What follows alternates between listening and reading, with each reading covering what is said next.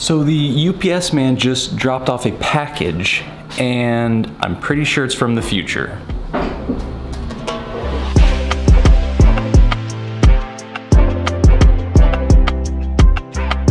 So a couple weeks ago, Inventables emailed me and they wanted to send me an X-Carve machine so that I could start doing some CNC projects. So it's been a couple weeks since I got everything fully put together. I'm now actually in the future.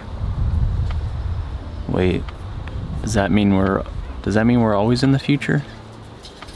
And I've gone totally headfirst into learning this thing, which kind of explains why I haven't posted any new videos in the past couple weeks. At first I was going to do a video where I document the entire build process of the machine. But as soon as I opened the boxes I realized that was going to be pointless. So I figured I'd make a video about my experience so far, as I'm sure there are a few of you watching that have been thinking about dipping your toes into the world of CNC. Now I'm a somewhat technology averse person. I like analog things. So I wasn't sure how much I was going to enjoy using a CNC machine. But one thing I really do enjoy is learning new things and progressing my skills and knowledge. So the first step in all of this was to actually build the machine.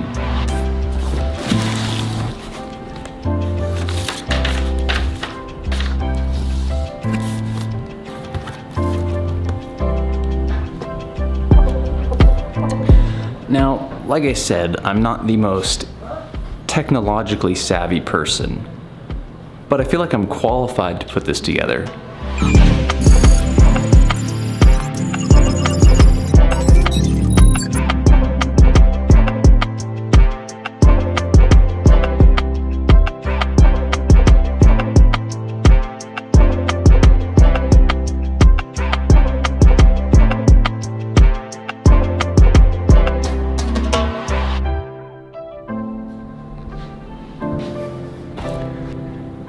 Honestly, if you're mechanically inclined at all, having played with Lego as a kid actually isn't that far off. You will probably enjoy this part. I don't know if all CNC machines at this level come completely disassembled like the X-Carve, but it actually ended up being a way to become completely familiar with the machine and how it works which I'm sure will be hugely beneficial down the line when I eventually break something. This will happen. That's a Shaun Boyd guarantee. Now, if you hate the whole assembly process and you just want to get to the computers and cutting, I'm sure there are machines out there that come more put together, but I'm also assuming that most of you watching would be into the assembly part.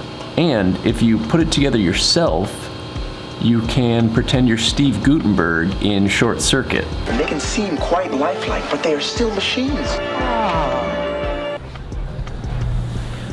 All right, well, I'm not totally sure, but I think I'm about to turn this thing on for the first time. Let's see what happens.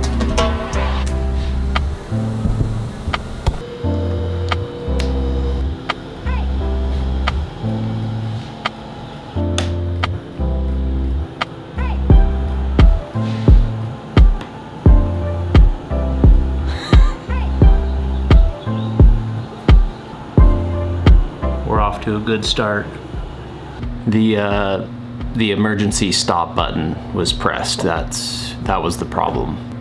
Anyways, once I had the machine up and running, I open up Easel for the first time.